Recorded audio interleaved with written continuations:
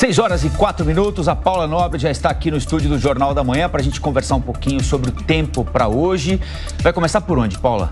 São Paulo? Vamos abrir São Paulo São hoje? Paulo, São Paulo, olha, eu olhei pela janela antes de começar o jornal aqui, não dá para ver absolutamente nada lá fora. Olha só. pra ver. Pra quem Olha está nos acompanhando por imagens no Panflix, das nossas redes sociais, para quem está nos acompanhando no rádio, a diferença é nenhuma, não é? Pois é. Quem está acompanhando é. na TV ou no rádio não tem diferença nenhuma. Por quê? Porque não dá para ver nada, exceto uma silhueta de um dos prédios ali da Avenida Paulista. Isso é névoa, isso é neblina. E aí, Rafael São os Colombo? cúmulos nimbus.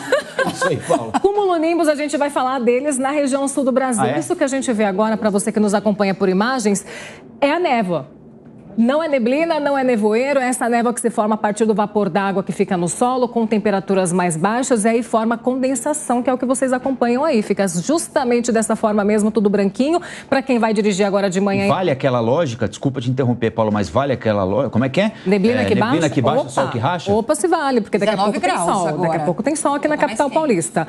E vai esquentar durante a tarde. A máxima de hoje é 31 graus. Esse calor, ele é um calor pré-frontal que antecede a chegada de uma frente fria por aqui. Ou seja, teremos temporais hoje na capital paulista no fim do dia. À noite, esses temporais ganham força. E atenção que amanhã é alerta de temporais generalizado em praticamente todo o estado de São Paulo. Tudo isso é influência dessa frente fria que vem da região sul do Brasil. Vamos para a região sul? Bora. Vamos. A gente vai falar sobre a região sul do Brasil, porque tem sim, gente, mais um ciclone extratropical na região sul do Brasil.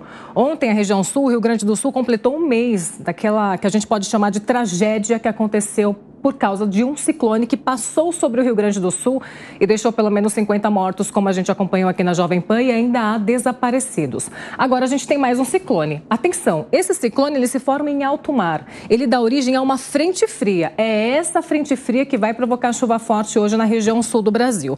Então, todos os três estados da região sul, algumas áreas do sul do estado de São Paulo e sul de Mato Grosso do Sul, todas essas áreas sentirão os efeitos dessa frente fria.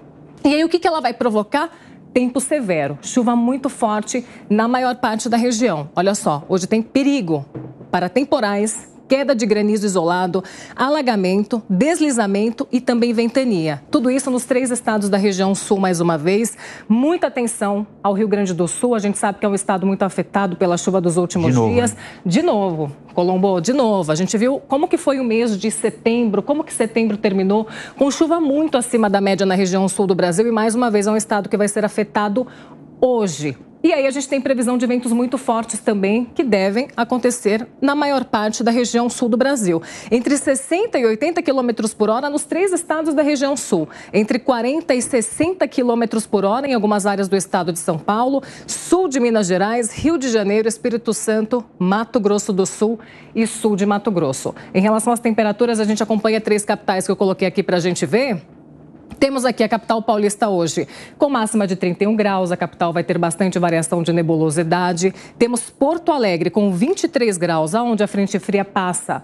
A temperatura fica mais amena. E temos BH, Belo Horizonte, hoje com sol, calor e máxima de 32 graus.